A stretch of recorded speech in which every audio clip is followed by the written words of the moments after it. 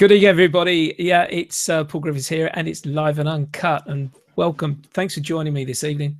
My guest is Dade Freeman. Dade, welcome to my show. Hello, Paul. How you doing? Yeah, I'm very well, thank you. Very well indeed. Um, just before we go any further, we've got a little bit of connection problem. We just as the voice goes a little bit from time to time from both ends. So my apologies for that. But it always seems to work out in the YouTube when you watch it at a later date. So if you miss anything in the in the live show, watch the YouTube later on Photography Live and Uncut on YouTube. And uh, so we get that sorted out as we go along. It should settle down, but uh, it, that's that's just the way the contact uh, con- connection goes these days. Um, Dade, as I say, thanks so much for joining me. We met a couple of months ago, in actual fact, uh, when we did a walkabout down in uh, in Brighton. It was really great to see you down there. Such a hot day. It was ridiculous, wasn't it? It was absolutely ridiculous. Yeah, it was absolutely stupid hot. The only sunny day of the year, I reckon. But anyway, Dade, what I want to do is let's let's take you right back. The Okay. question I always ask my guests: What was the first camera in your household? that you can Uh, to be honest, I genuinely don't know. I know we had one. Um, I don't know what it was. I know that we would take it along with us on holidays. We'd typically go to Barmouth in Wales. Um, we'd take a bunch of snaps, or I wouldn't, but my mum and dad would. Um, Yeah. And then they'd get back home and they'd send them off to be processed. And they'd get back a bunch of blurry, dark, overexposed thumbs on them, a bunch of images that were no good at all, actually. So Yeah. my first recollection of a camera was not a good one. do you know that's exactly what my dad used to do? Yeah, I bought him a beautiful Olympus Trip and some other cameras, and I was looking at the money a few weeks ago actually, and uh, they were all blurred. I thought, what's, what's going on? We don't get that anymore because we've got digital now and we've got autofocus. So, what was the first camera that you bought yourself for yourself? Um, the first camera I bought was the Lumix, I think it was. I think it was the Illumix. Um, it wasn't great; it was just entry level. Yeah, Um, and the reason I bought it, um, not because I wanted to be a photographer, um, I was working out in Spain. Um, I had quite an interesting job there. I was the master of ceremonies, which is a great title. Um, what it basically was, my role was to help Spaniards speak English in a right. non-classroom environment. So there were EMPs, very important people. There were CEOs. There were a very diverse range of people who needed to speak English, but needed to do so in a way that wasn't formulaic, that classroom typically was, um, and that was very relaxed. So I'd have to teach them how to be confident with the English language. I'd have to teach them how to use English, how to communicate without words um, which was always fun. So we do things like karaoke, we do acting classes, we do singing, we do mime, whatever it needed to actually bring the confidence out in these people. And the reason for the camera, which we get to now, Yeah. um, was because we were there for a week. It was a week solid, intense English class, but we do so much diverse work that we would need to capture it, or I wanted to capture it, to actually Yeah. show them at the end of it, this is where you were, and this is where you are, and look at all the things we did in between. So the idea was to go buy a camera and capture these, and at the end of the week, I'd create a slideshow using um, iPhoto, um, using Oh, iPhoto okay. back then, um, load them all into iPhoto, create this little slideshow. They get to see what they'd done and all this great work they'd achieved, and that's where the camera came in. And I quickly, I'd been doing that job for three or four years, and about halfway through, I changed from the Lumix because I dropped it, it got smashed, and bought a Canon Rebel, the 450D. Okay. Right. Okay. 450D, I would say, was my first professional camera, um, and that pretty much held me up for a year, for two years after that, and then one year when I'd actually came back to the UK and started my career as a photographer. So the 450D, I would say, was my first official camera. official camera, but the, the the the little starter was the Lumix. So there's quite a bit of a spread there. Did you did you had no real interest in photography Nope. um, as, as a young as a young kid at school or college? Nothing at all. No, It was just a fa- I'm sorry, I want to say yes. No, it's I exactly. over and he come out taking pictures perfectly, of course. But yeah, it's nice to hear someone didn't do that route. It's, it's, it's, such a such a what a change, you know, a revelation. Well, we got a guy who had no interest in photography until how old would you have been? About mid twenties, I'm guessing. Oh, dude, you flatter me. Sorry, I try. Um, no, it, it, was really recent. Um, I've only been doing photography, um, I'd say properly. Um, this is my fifth year. Right. Okay five years. So let's let's nail it down. Why why did we or how did we get into photography? Um, well, the, job in, form? the job in Spain um, that I referred to, um, the economy, as you know, it all went crash. Um, so it kind of dried up, it disappeared. Yeah. Um, and as a consequence, people didn't have a training budget and so on and so forth. So I then needed to come back to the UK to work. And I, as I say, I bought this 450D and I'd actually enjoyed photographing, uh, you're doing photography. Um, and I'd started whilst I was out there teaching myself, okay, what is manual and how do I get this thing called depth of field and if I slow the shutter speed down, what happens? And I'd been learning myself this whole idea of the the nuances of what we actually do as photographers. Um, so from there, I then turned around and said, okay, um, I can do this. I understand how to get a sharp picture. I understand how to get motion blur. I understand what depth of field is. I can probably do this. So I contacted a friend who was here and he worked for Epson and he was also getting into photography. So we were at the same level, um, but he was technically, he was brilliant. He was the person who, before he even took the camera out of the box, he read the manual backwards. Right, okay. Um, One just, guys, yeah I got the manual, threw that away because hey, that away exactly. Get rid of that. Um, and I started doing all these creative things with the camera, but not knowing how. So if he said, hmm. "Okay, do that again," I was like, "I don't know. I just can't. I, I, did that, and then that happened, and then this, and I didn't know why it was happening, but I knew how to do it." Mm. So we came at it from two different perspectives, which was really good. Um, he was very technical. I was very creative. So in terms of, we then created this wedding little business enterprise because why not? Everyone does. Yeah. Um, so then started doing weddings. Um, and as I say, I'd do the more arty shots and he'd do the more formulaic. Um, and it worked because of the way we were. But it's like one of those things you kind of outgrow yourselves and each other. His path went one way, my path went the other. Um, and I found that I was more interested in creating portraiture than I was doing the weddings. I enjoy the weddings, but it yeah. wasn't. I didn't want to go out and compete. And I found that we were out when we found clients, we were being asked for more and more for less and less. Yeah. You know what I mean by that? It was more images, more of this for less money. And it was just like, guys, we can't do this. This doesn't work. So I made the decision that for me, I was kind of out of the wedding game. Um, I do it as a second shooter. If you want to go and find the work and bring the people in, I'll happily do the arty shots and the creative stuff and work alongside you to get the best that we can from this time. Um, but I don't want to be out there having this. Um, you don't want to be the front man doing the doing the the selling basically, and knowing that each time your customer's like, going to be one you knock you down on price. Yeah, it felt like a battle, and I just didn't yeah. want to do that. I, I, wanted to enjoy what I was doing, um, yeah. rather than feel that I was having to compete constantly for every image and every dime, it just seemed pointless. Well, I, I know uh, our friend Michael Ramel has uh, had gone through exactly the same process, and I remember um, one of the walkabouts uh, we we bumped into a guy who was uh, uh, who, uh, who, was moving into wedding photography and, and really had got into the doldrums as regards to getting work on a regular basis.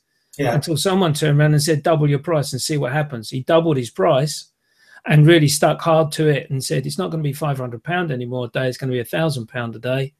And he's he's worked doubled uh, on the back of that. But it is it's a tough decision to make you know? Some guys have got the front basically to say no that's what i'm going to do. But you've got to be really to a degree i could never do wedding photography. I couldn't it would scare the living daylights out of me. But you've got to be so dedicated and committed to doing that type of work. Yeah, um, yeah. and um, those that do uh, you know, and and make those changes and moves, uh, invariably uh, can make a good living out of it. Yeah, and I think if you commit yourself and your time to actually learning the craft of wedding photography, you can do amazing work. Um, yeah. But I think you've got to decide: is that where you want to put all your eggs into that one basket and keep going at that, or do you want to do something a bit more diverse? Photography, you know, it's it's like I did magic for a while. It's like magic. You can go into any genre of magic and illusions and hypnotherapy and all sorts of other stuff. And with photography, you could be a food photographer or a wedding or portraits or animals. And I like the fact that it was is quite so diverse. But I quickly learned that don't really want to do pets and animals. Don't really want to do that. Don't do that. It's not really my thing. I want to stay away from that if possible. Kind of the family portraiture I've shot and I'll do it, but it's not really where I prefer. I like the one-on-one. Yeah. I like being able to converse with someone, um, to bring out the character of them, and to actually get to know them. Whereas when it's a family dynamic, it's quite hard. You're having to compete with different personalities. You're having to try and get everyone on the same page, which isn't always possible. No, that's true. So I, I find that one slightly more challenging.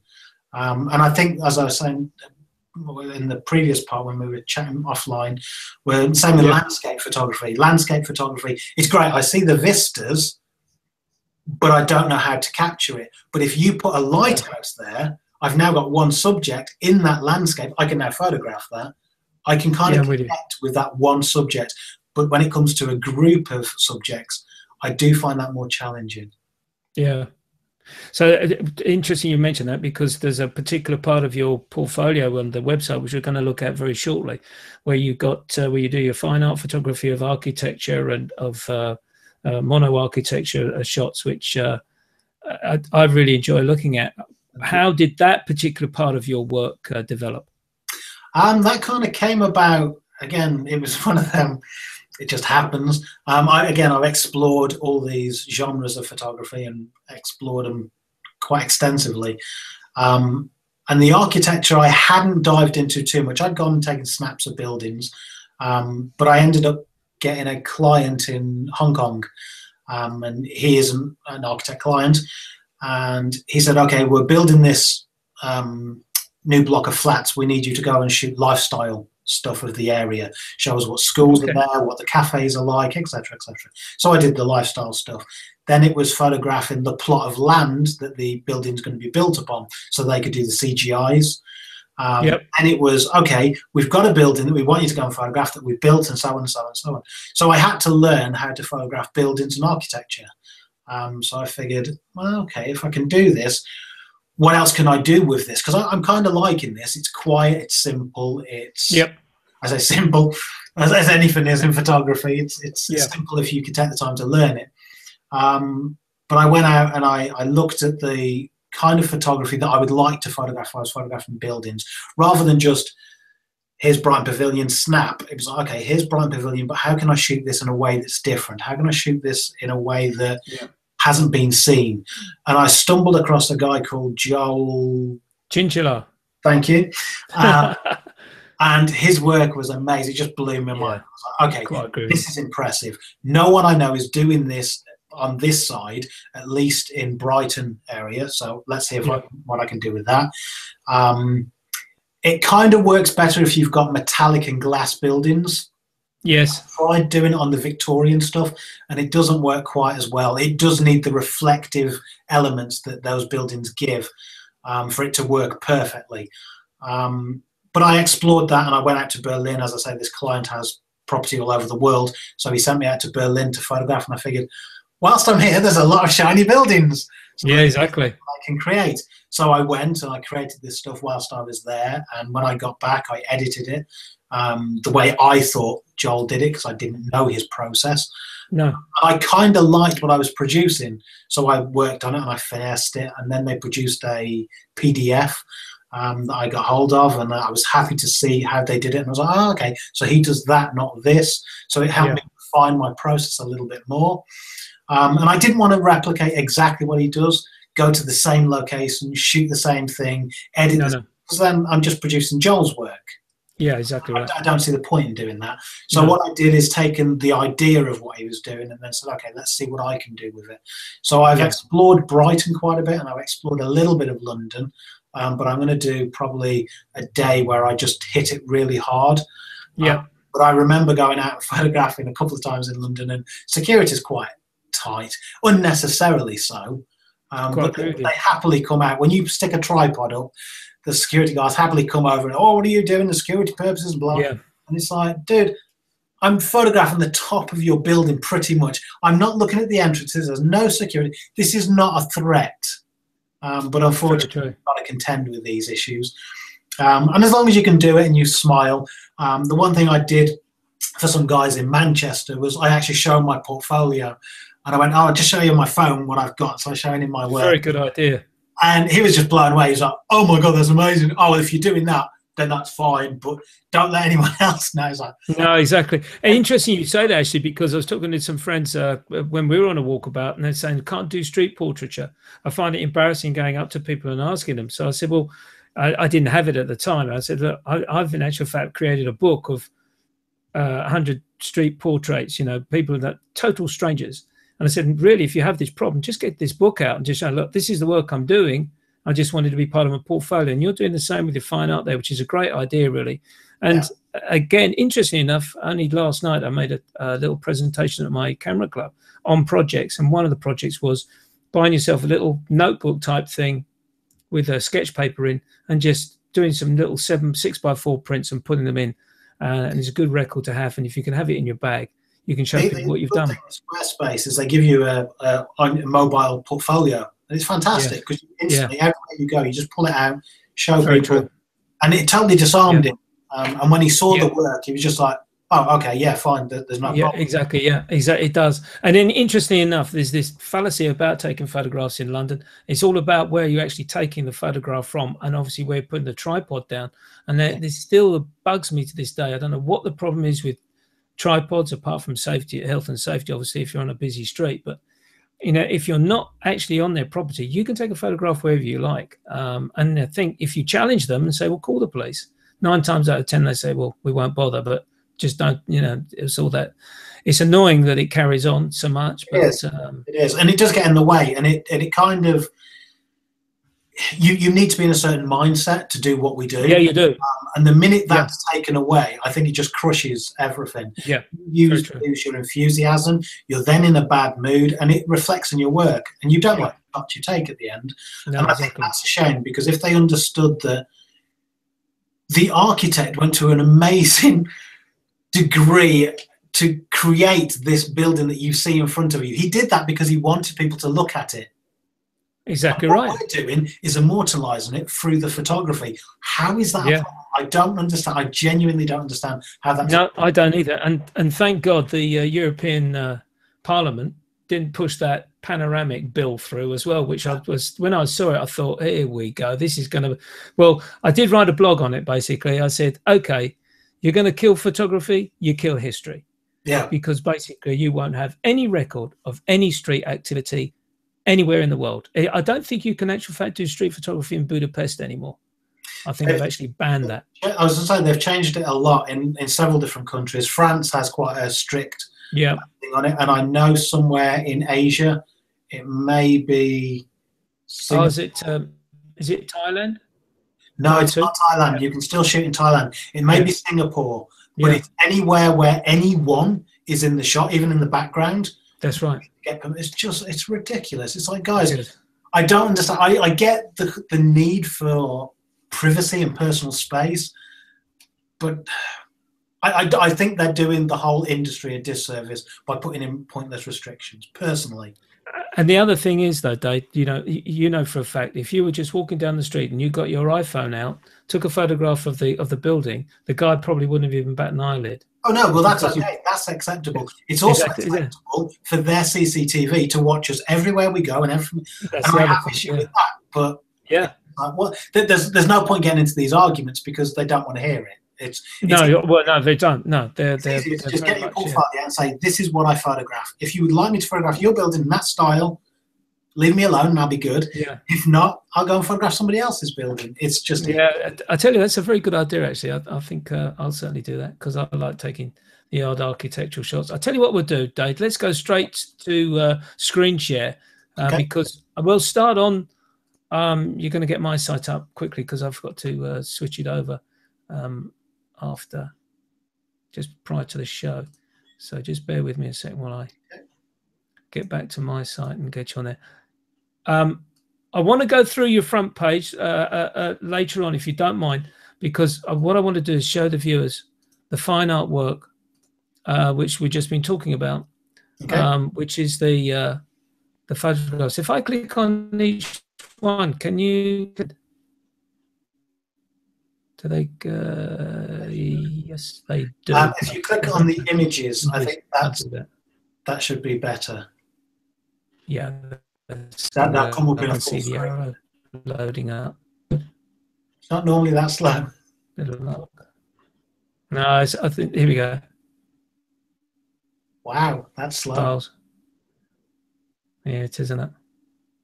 Okay, we won't waste time on that. We'll go straight back to the prints because really, slow. Um, what what we're seeing here is, as you said, a, a, a style of photography which is, and I'm really really excited about this style because it's something which I just love to see. Uh, Joel Tjintjelaar, as you mentioned, is is now, dare I use the term, world renowned for this type of work, and uh, another a friend of mine who I've had on the show, Tuan Nguyen, as well, photographs very similar type work to this as well now. And the other person who I've had on my show, is lovely to talk to, is Irene Kung uh, from Switzerland. And uh, she originally was an artist. Okay. And she basically was told by a, an art gallery owner, why don't you photograph the way you paint?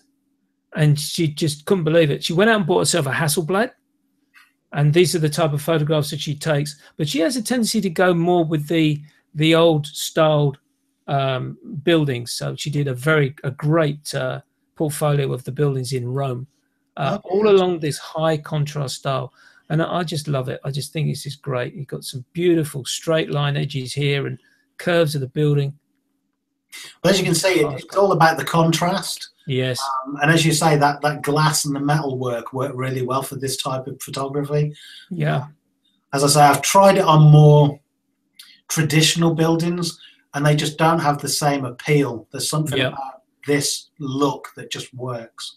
Um, as you can see, these shots are all over. There's some Brighton, there's the De La Warr there, there's some from Manchester.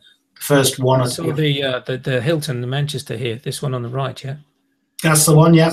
Yeah, that one there. I know that one quite well. And at the bottom there, just something I tried slightly different. This was my early, as you can see, it's quite a different style, but in the yep. same genre. Um, and yes. what I tried to do is take that look and, and take it a little bit further. And as time yep. went on, this West Pier and Marina that you see at the beginning here, um, yes. that finessed as time went on. I bought myself a proper Lee filter. I bought myself a 16 stop, and it all helped because you want the movement in the clouds, and you need exactly yeah longer and longer exposures in order to get that. Yeah, I was going to ask you what filter you had on there. So obviously, it is uh, an ND filter, a, a, a, long a long stopper, 10 stopper. But you say you're using 16 stopper. So, yeah, 16 stopper, yeah. yeah. And then on the odd occasion, there's ones where I've just switched out skies and made them more interesting. Yeah. that one with a streak. This one?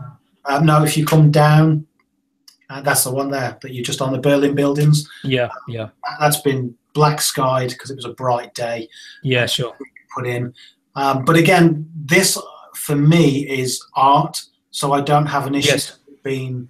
It doesn't need to represent a true representation of what the building is. It no. represent what I want it to and what I see within the building.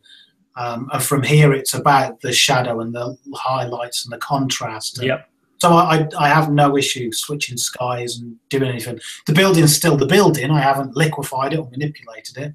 No. But I have chose my angles as carefully as I could to give the best effect. And I have tried to bring out the most that I can from the building, whether that's pushing the highlights or pulling the shadows.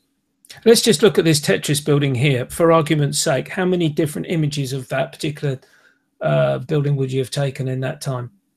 Um, whilst I was there, that was on a commission job, so it had to be done quickly. Uh, yeah. I probably photographed 12 iterations of that maybe. Okay. Yeah. Um, and that's the one I choose. Again, when it comes to photography, I think your job is to edit, and you have to edit quite strictly with yourself and there is 12, they're okay images, they're good, there's nothing wrong with them. Um, but I'm looking for the best image that I can.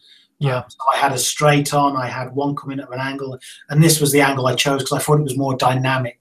Yeah, I quite agree with you. Um, From the and it's corner showing- straight up, yeah. it's shown plenty of the building and the shape of it and all the rest of it. Um, so this Yeah. was the shot that I chose. The other ten or eleven, they're probably sitting on my computer and haven't been touched. Didn't didn't quite didn't quite uh, hack it for you.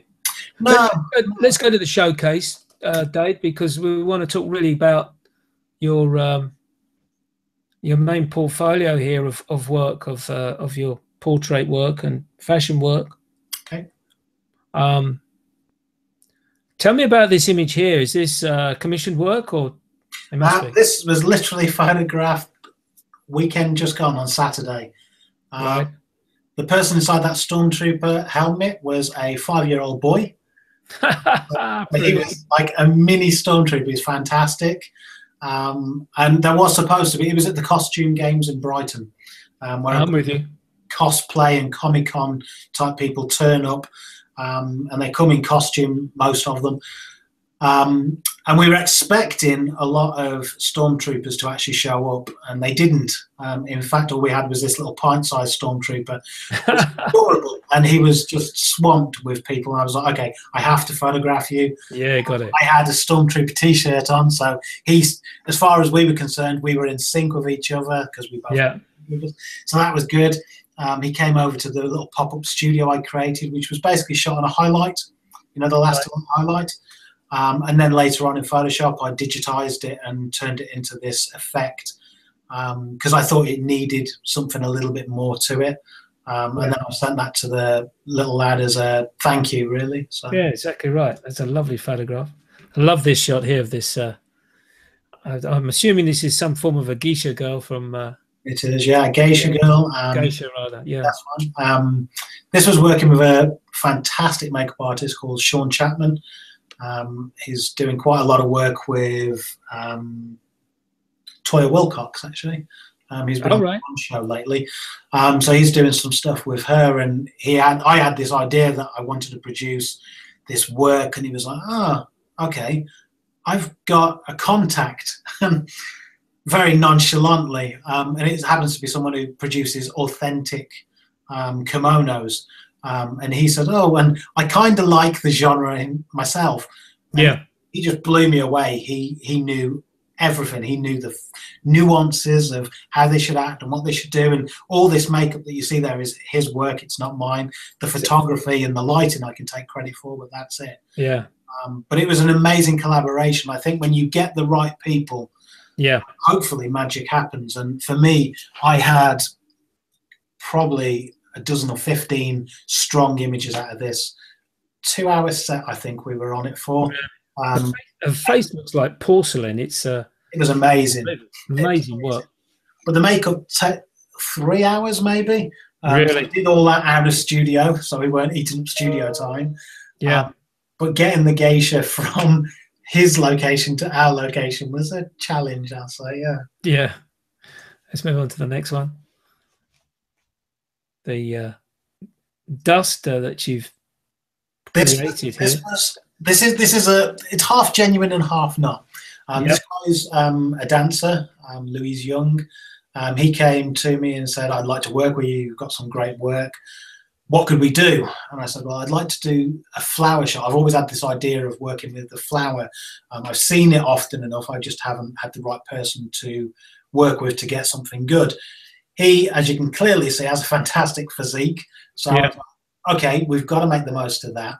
And I did originally have a lot of jumping moves and, and flips and all the rest of it. And whilst they were good, they weren't super strong. You would get half of a flip because obviously you're you're catching this, so you get Yeah. half of a flip and the dust, the flour, actually producing an effect, but maybe not the effect you wanted. And I kind of not struggled, but it, it didn't it didn't wow me. So I was like, okay, let's go a bit more static and let's produce something that we can work with. So what I got was him doing this pose several times and throwing that out. So what you see there is genuine, but not. It, has been obviously digitized effect into these wings, um, but the flour is real. It's all there. It was all 100% genuine throws out. It's just layers of the flour put on and then shaped accordingly. So that's what I've done with that. Yeah, great, uh, great bit of work at the at the time and a great bit of editing. Uh, oh, it was a challenge, I'll say that much. yeah, I bet it was. I bet it was. And the cleanup, uh, oh, dude. Yeah, I was going to say there must have been a mess on the floor there. Well, Super uh, shot here, beautiful work. Uh, again, great makeup. I, again, I, hate to ask, I, I'd hate to ask how long this took. Um, this again was Sean. Um, he, he, this was one of the first ones I think I did with him. Um, right. Um, and we started off clean. We have several shots of the this model, um, in different poses using different headgear and whatnot. And then as the shot went along, we got progressively messier and messier. Uh, right. Again, you've got quality workmanship, as in his uh, makeup. You've got a fantastic model who knows how to pose. Um, and then hopefully myself who brings the life and the light to the image. And what's not to like really? It's, it's no it's, it's it's, it's, it's, a great shot I, I, was going to ask you about the lighting here. This is something which i don't do. So tell us about the actual setup of the lighting for this particular shot if you can uh, remember. Okay challenge. Um it would have been on a black back backdrop seamless. Um yep. presumably if i look in her eye properly there looks like there's a beauty dish which is up to the right of camera, which is why you get a lot of this. We we thought it would be wise. This is what you learn later on, which you didn't know. Um, that if we put some Vaseline on her body, it'll give her this nice shimmer. What yep. it instead was gave her this really bright highlight, which is kind of the thing that I don't love so much about the image. Um, but again, it's one of the things you don't know at the time. You had to, we had to make the glitter stick somehow, and that seemed like the logical way of doing it. Yeah, live and learn as these things yeah. go. Um, and then there would have been a, a, light off to the left to give a bit of rim light, which is just catching, as you can see, her back shoulder and a yeah. little bit of a hand and a hair. Um, it did need a hair light, which isn't there. Um, but again, it's one of them things that as you're shooting, you get caught up and you don't always notice things that you do in post, and you think, ah, yeah, I. But this is this is the learning curve that comes from it. And again, that's right. I try, I don't know if you noticed, but in each of my shots, I try to vary it. I try to do things differently. I use different lighting techniques. I use different lighting setups because I don't want my work to be formulaic. I want it to have a style and a look. And I think I have that now. Um, I definitely yeah. have that. But I think now having such a body of work, I can actually look at it and say, oh, yeah, okay, I can see similarities in my work, which I would put down to being a style. Um, but in terms of lighting, I do try to vary it. Yeah, yeah, uh, uh, that's interesting what you say about the uh, the lighting aspects there. It's some I haven't done any studio work at all before. It's uh, I must tr- give it a try sometime. I prefer studio. I'm, yeah. I'm so much happier in studio because I can control each of the aspects, and, I, I'm, I'm not a control freak, but I enjoy having that control. Yeah, how was the hair basically uh, created here? Is this a, a, simple fan at the back, or has it been? This is literally. Well, it wasn't a fan. It wasn't a fan. It was actually the hairdresser, Raf. He was behind her, and we tried to find the biggest thing we could find in his. This was shot in his salon. Uh, yeah. Tried to find the biggest thing we could, which happened to be LPs. Um, so oh right. LPs flapping the hair up. Behind. Flapping the hair and this is how we created this. You know, interesting you say that. I don't know if you've seen. Um, there's been some videos which I came across on YouTube just recently with uh, Rankin, okay. and he did the he did the image uh, which is uh, infamous with uh, David Bailey, when he took the photograph of Jean Shrimpton, and uh, it was the one where the, the blonde hair is just wafting in the breeze, and and uh, Rankin said to David Bailey, who was actually standing next to him, imagine that, taking a photograph of you copying someone and, and the actual photographer standing there watching you do it. It's amazing. anyway, he said, How did you do it, David? So he said, Well, I just had a guy standing off off camera with a with a big white board, bit like this. And he wafted the hair, and his hair just took off. And he went, Wow, do it again. And it was just amazing. So there you go. Simple little LP record behind to get that hair. Yeah, that was it. like that behind her. Fantastic that was the thing. We, we had a lot of shots and they were all very pretty, but they weren't dynamic. Yeah. So I need something a bit more yeah oomph. But I didn't want the model to be moving because of facial expression. Yeah, you wanted it. Yeah, static. So it was then getting the hair. The hair had to come alive, and just by resting it on her shoulders and then wafting, let it lift up, and that's how you create this effect. So brilliant. No super, no super glue involved then. no, no. Back to the geisha girl. She is there. As I say, I Yeah, have so- plenty of these shots. I uh, Yeah, authentic Japanese samurai sword. yeah. I was going to say I wouldn't argue with her on a on a dark night. That was the lady Yeah. rat, the glitter. Right. Okay. Yeah. So obviously recognise the the uh, tattoos. Yeah. Bit of hairstyling. That is, that was again for Raf. He, um, this is the lady who actually was the geisha, but this is a shot uh, three months prior where I first met her and we discussed this idea of the, the geisha. Um, she was there having her hair done and he'd done this. You can see that little bluey greeny tint at the end. He was Yeah. kind of working with that. So again, we wanted to emphasize the great hair, and she did have amazingly long hair. Mhm. But when you photographed the hair, it was just like, okay, so it's hair. There wasn't much to it. So I had her lay down on the floor. I put Yeah. a, um, it was a large Lastolite uh, pop-up reflector behind her, so she lay on that, and then just sculpted the hair into this shape. And this is what you see before you. So again, no real magic. No. The right people and the right creative thinking creates strong images. It's one of those images when you look at it, and you go, "How the blazes have you done that?" But then, of course, you think, "Well, uh, yeah, I can now see she is lying down on her back and she's posing but one particular direction, and of course, the hair's been fashioned into that shape, that tear shape, Yeah. apostrophe shape, almost. Really lovely. Really like it. Yes, uh, this fella I think should be playing uh, rugby tonight, but he obviously wasn't chosen. No, Robin's a good guy, very strong character, and he, he suits this genre. He he does a Yeah. lot of um, acting work, um, back in the extras and whatnot. I'm with you. And this idea for this was actually from Glyn Dewis. He'd done um, the Brenizer method. Yes. Um, so what it is basically is you focus on one point, which in this case is the eyes. So you zoom in, you get a nice focus point on the eyes, and you don't change your focal point. But I've got a really tight um, crop in on the eyes. Then I move my camera to the side, take a shot, take a shot, take a shot, take a shot, take a shot, take a shot, take, and I basically produce 12 images, which you then stitch together, which is pretty much producing right. a medium format style image. So what you get is this very shallow depth of field, which is like a razor's edge. As you can see, his kind Yes. of beard's disappearing at, at one point there. Yeah, I can see that. Not Yeah. so far back. Um, and yet his eyes are still pin sharp.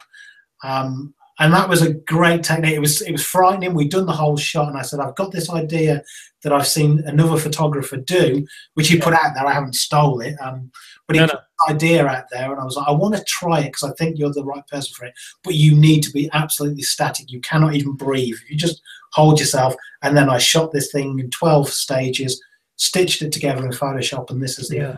And I, I really like it because it's different. Interesting work. In, yeah, it is. It's different. It's interesting work. What's the name of that photographer again? Is it is it Drake Dragan? I've forgotten his name. He's it's, he's got an amazing website, I do. and I do remember watching that video uh, done by Glyn with regards to producing producing that work and and how uh, how you can do uh, some uh, editing to to get close to it. But that's a great shot. I love that, and the way you've worked it out. Super. Moving on. Straight model shot. Straightforward, yeah. Yeah, yeah. Head and shoulders. It's a Shoulders. dish hair product. and then uh, Johnny Depp lookalike, which This guy was fantastic. Again, he's one of Yeah. these I have 20, 30 strong images that I put out there to the world. And yeah, it was amazing to work with. He actually was Johnny Depp's double in Pirates of three or four, I was he really? He was. uh, The one that was shot in Portsmouth. He went down to be his double. Ah, right, okay, Um, he said it was comically it was cheaper to have him there to do the little bit of extras than it was to get Johnny Depp to reshoot them. It kind of makes sense, I guess. Um, Well, but why not? he, was. He was a fantastic character to photograph. Um, and I, I did. I had a lot of enjoyment with him. And this shot in particular, I think, has something like four thousand views. It's or likes. Well, quite honest with you, uh, it, it, it, well, it is. It's, it's Jack Sparrow. He's uh, yeah, exactly. brilliant, Yeah. brilliant. now we're getting a bit of arty work in here.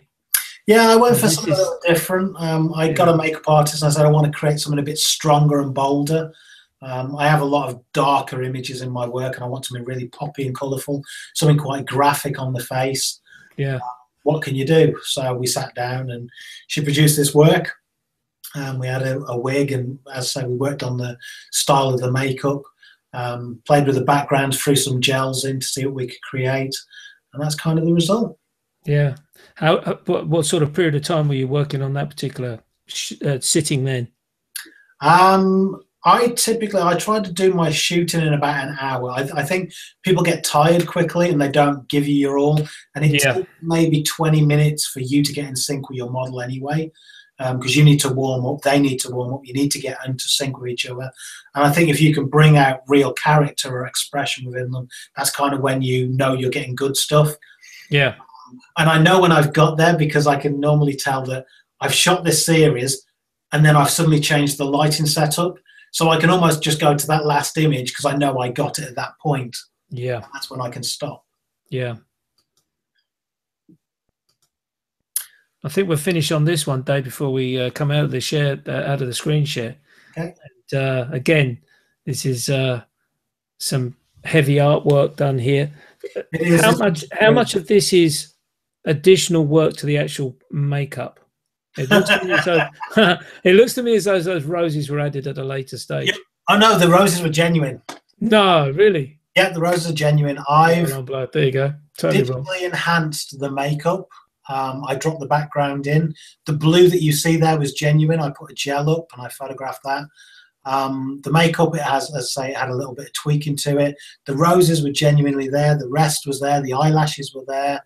Um, all I've done is later in post enhanced certain things, manipulated a couple of things to improve them a little bit where it wasn't quite symmetrical. This image, as you can tell, it, the symmetry was kind of paramount. Yeah, exactly. So yeah, so, some things needed a bit of finessing, um, but pretty much what you see there is what was created. Yeah, I, am going to get to the one where after we uh, we spoke uh, about uh, you coming on the show, uh, was this one, yeah. and I remember the infamous Zack Arias talking about this image. And uh, yeah. is this the one? Is this the one which was just slightly? It, it is here. Is it? Was it more off balance? that he was talking about in his Correct. review of your work. I, have I've corrected it since. Yes, yes. I, I, again, I, put a thing out. Can can we talk about the Zack thing? Yeah, of course. Go go ahead. I, I don't think um, Zack's going to complain. I think no. I think most people know who Zack Arias is. Exactly. Yeah. And I, I asked my peers in, in, in Brighton um, for some critique on my work and some genuine feedback because I genuinely needed it. Yeah and they all said very nice things. They all said, "No, it's very pretty, and this is very good. And, oh, it's amazing. Oh, I wish I could do this." Okay, they're all very nice things to hear, but they're not helping me. I, exactly I right. I need something a bit more straightforward and cutting, maybe. Yeah. So, um, Zack had rebranded himself and put this thing out there. I'm looking to critique websites. I just rebranded my website from Chrysalis Photography to Dade Freeman, my own name. A whole new thing. I'd now gone to Squarespace instead of WordPress. I put up all my best and my best images and was very proud of them. So I figured, what's the worst that can happen? Exactly right. And then Zack happened. Um, and and you can still find that YouTube video. Um, I yeah. think at the moment I've only been the only website that's been critiqued, um, and and you'll see why. Um, but he he literally tore my work apart in a nice way and in a constructive way, but also in a typically Zack Arias kind of way. There was a few bits yeah. involved. I, I, think I think I'm going to come out of screen share because uh, this is an interesting aspect you're talking about here about critique, getting critique from your family. They're never going to say anything bad about everyone's work. They're my not. mother thought my mother thought I was the best photographer in the world, you know, and that no one was ever going to argue against that. And but you do have to have at the end of the day, especially if you're going to be go down the professional route, you do need someone to give it to you straight. You do. That's good. That's crap. Let's move on. And I did watch that uh, Zack big uh, video when it first came out because he just moved to Dead Pixel, he did new new brand, Right. and I remember you, in actual fact, uh, on uh, Ready Steady Pro saying, "What do you think about the logo?" and that stuff, which was which was nice sort of input that you were getting from people from that group. And I remember watching it, and I thought, "Wow, this this works pretty damn good." I didn't relate the name at the time until later, um, and of course, it's got this thing where he and his wife are commenting. Now, let's put this into perspective. His wife, can I use the term, knows about photography, Yeah, but Zack, Zack has the knowledge of photography, correct. and Yeah. there's, different, there's a difference there. Yeah. So, yeah, obviously his wife's going to say, "Yeah, I like that image." So I think it's going, "Yeah, I like the muscles on that guy's face." Blah blah blah blah.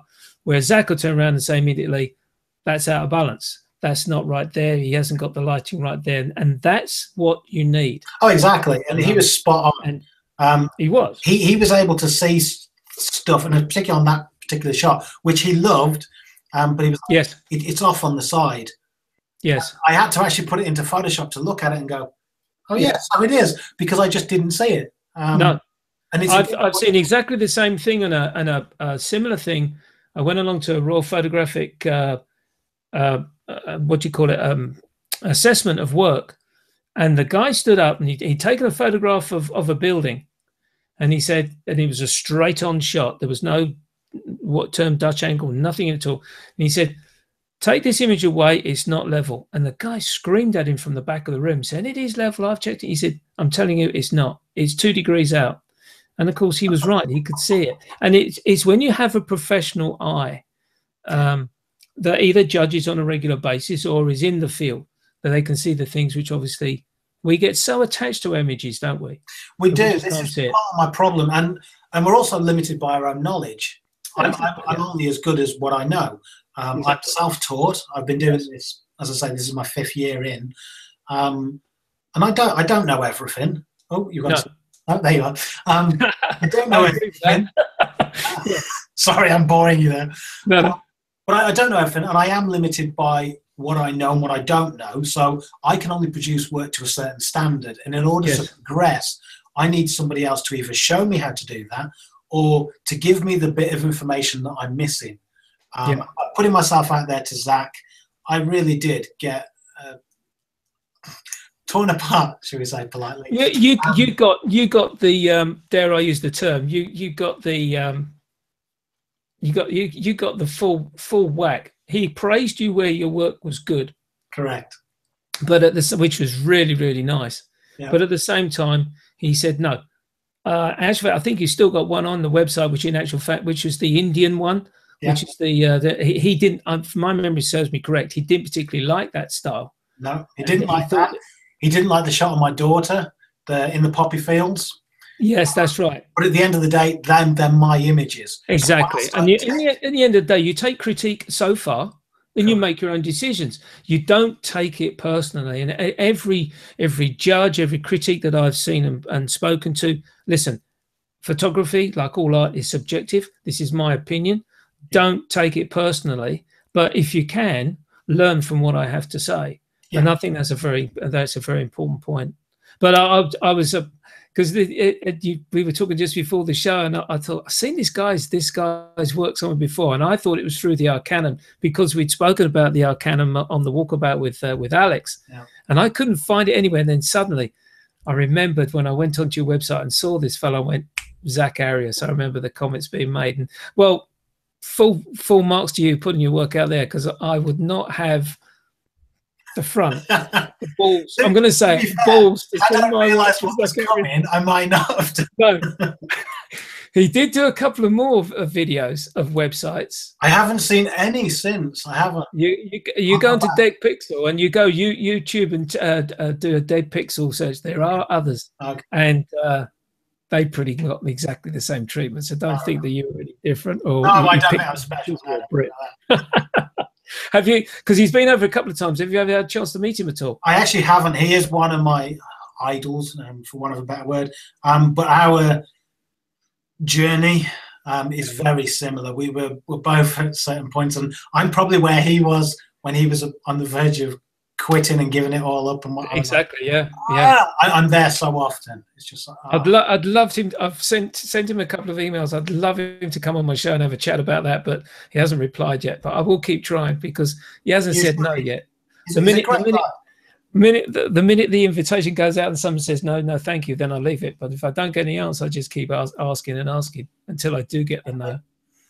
But then I'm encouraged by the no because I know the next one's going to be a yes but uh, no, Zack Arias, in actual fact, there's three people. We're going to talk about Fuji now. There's three people that I blame for me using Fuji cameras now Zack Arias, David Hobby, and Damien Lovegrove. Damien Lovegrove persuaded me in his videos with regards to the XT10.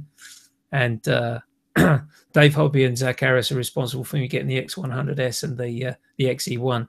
So bringing that very neatly round to Fuji. You did almost you, seamlessly.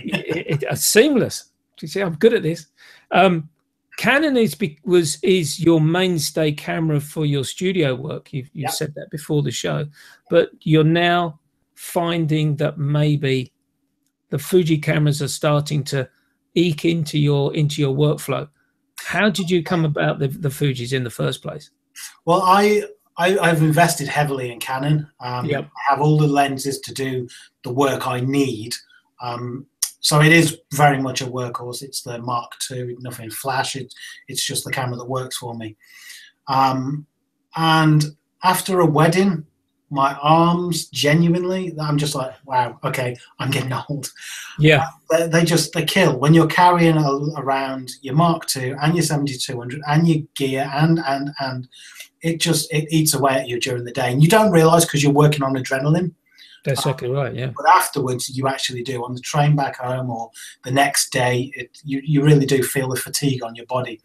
Um, so I was like, I'm, I'm not happy with this. I, I want to go on to other systems, and I wasn't happy with Canon per se because they did this thing where they, in my opinion, I'll put it out there. In my opinion. Yep Canon forgot about their end user. They decided to chase other things. They pulled out trade shows. They stopped looking after the people. They stopped producing yep. firmware.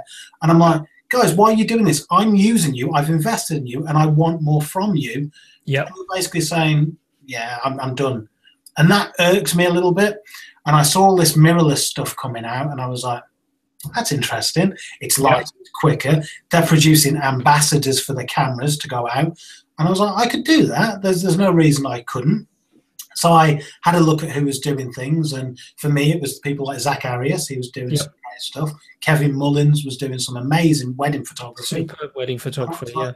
It's a very different style to how I typically shoot, but I liked it, and I was like, maybe that's a, a way I could get back into it and find a bit more of an interest for it. Um, so I had a look at the Fuji range that was first at initially, and it was yeah. the X100 and various iterations. Um, and I didn't want to invest heavily in another system, and to be fair, I couldn't afford to. So yeah. I had to make my choices wisely. So my decision, which was quite a canny one, I think, was to turn around and say, right, I'm going to put it out there to whoever is, is around the spheres that I want to do a face off your camera versus mine. We'll go out for a day and we'll photograph. We'll do like street photography because it's simple. It's there. sure, yeah. Um, but I'll pit my camera against yours and see what we do. And I put it out to Fuji, Olympus, Sony, whoever happened to be around and wanted to do it. And I got several people take me up on it. And it was good because I would get to have their camera and I get to practice with it and see what I liked about it, see what I didn't like about it, and see where it worked or where it didn't work for me. Um, and I tried the Olympus stuff, and it just didn't gel. There's something about it. I don't know what it is. It just didn't gel for me. And I tried various versions of the Fuji, and it was gelling a little bit more. But I was like, if only it did. If only we could. Oh, if oh, and it was so close to being where it, where it needed to be.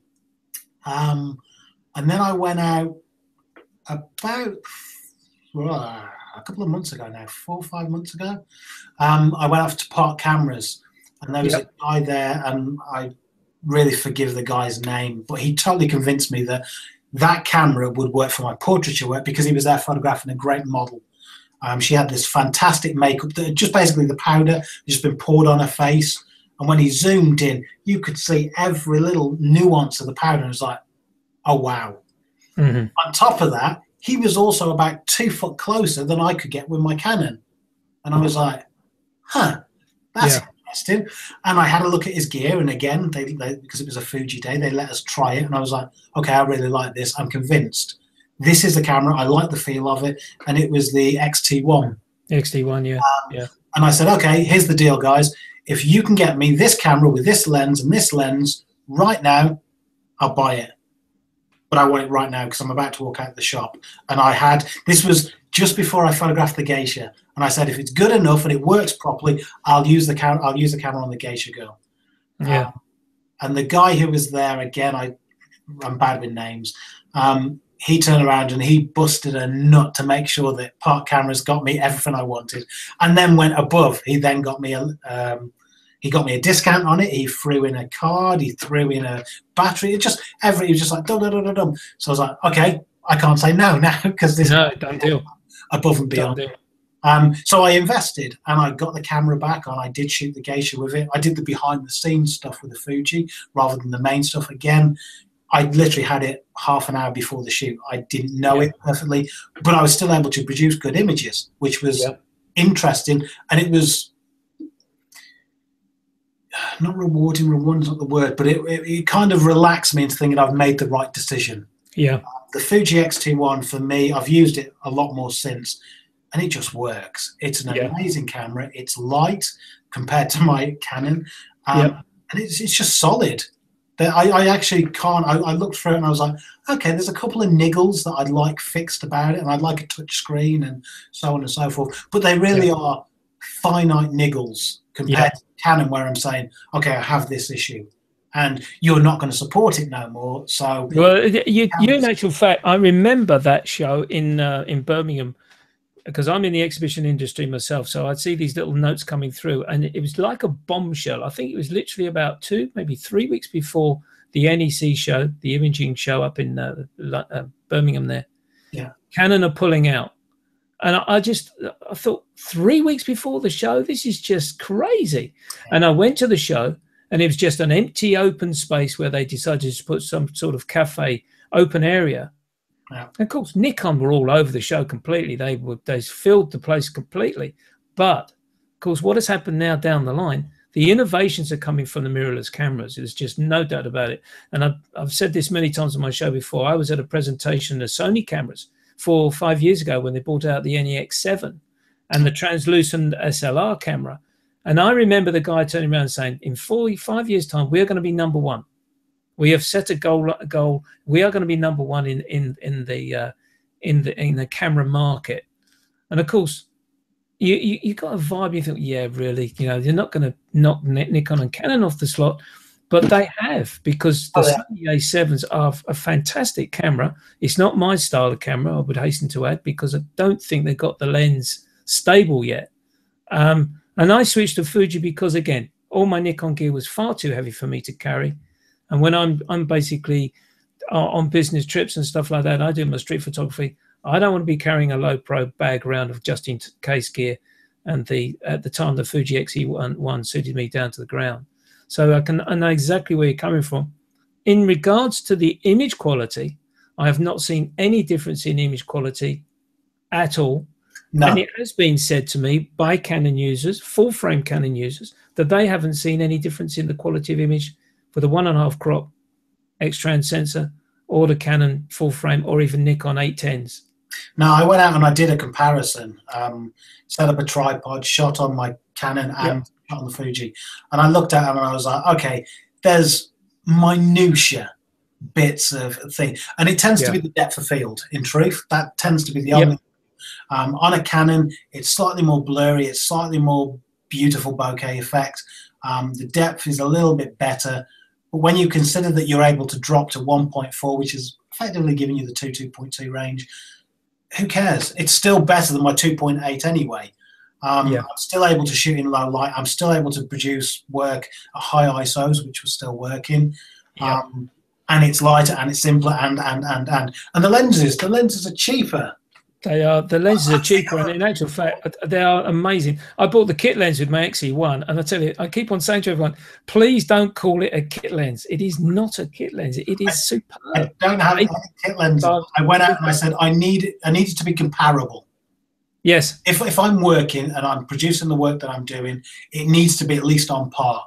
There's no point taking that step back so the no, quite agree with you. Especially okay. if you're following through in a professional career, exactly. there's no point stepping back. The only person who, who has come up with, with in my book, a, a, a decent argument to the switch from a DSLR to mirror, mirrorless camera is Martin Bailey, where he's got so much invested in his Canon gear, and they are big lenses. You're yeah. talking 100, 400 uh, zoom lenses with four times converters, all sorts of.